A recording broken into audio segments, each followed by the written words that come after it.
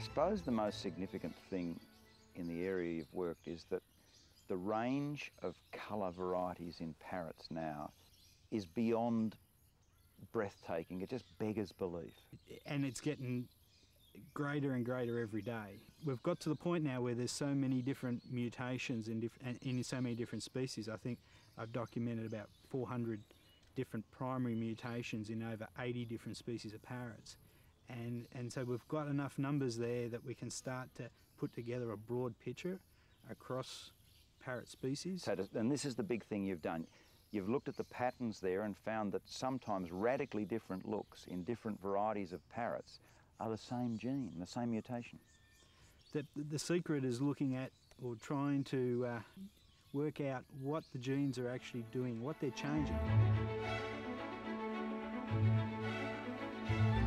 You've got a couple of examples there of birds that are different species but identical mutation.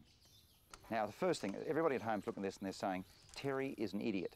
You've got one bird there that's sort of black and pink, and the other one that's predominantly yellow with a bit of sort of turquoise, a bit of red, and maybe a bit of black. They can't be the same bird.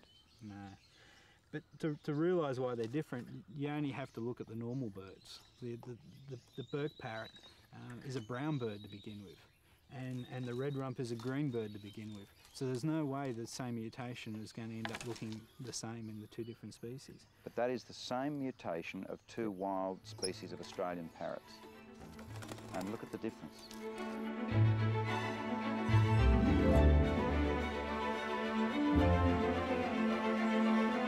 I suppose the thing that most people, their heart would sink when they hear the word genetics.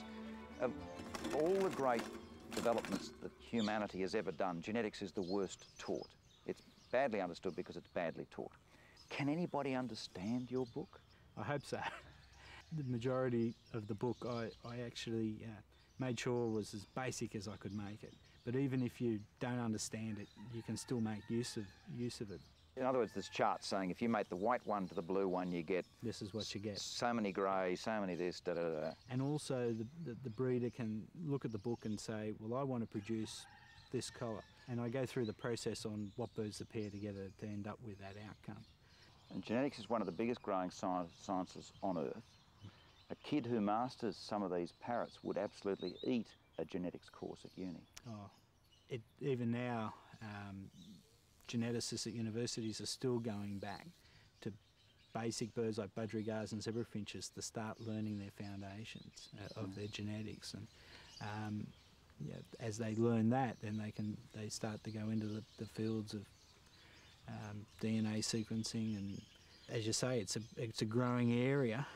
Um, as we learn more and more, and we, we do a lot more with the birds.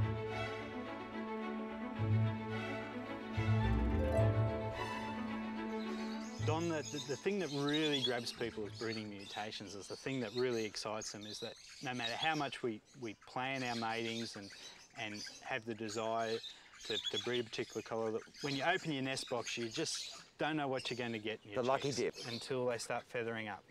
So that too is part of the lucky dip. Part of the lucky dip, but Yeah. part of the fun. Yeah.